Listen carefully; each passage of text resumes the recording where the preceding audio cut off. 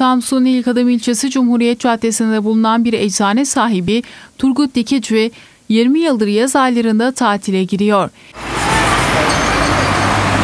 Kendisiyle birlikte çalışan elemanlarına da izin verip eczaneyi kapatan Turgut Dikici bunu 20 yıldır hiç aksatmadan yaptıklarını söyledi. Ne zamandan beri e, tatil yapıyorsunuz? Takriben 20 yıldır her yaz bu tatili yapıyoruz.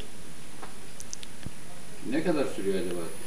20-25 gün, bir ay senesine göre değişiyor. E, eczaneyi komple kapatıyorsunuz. Komple kapatıyoruz. Bütün personel de yıllık iznini kullanmış oluyor.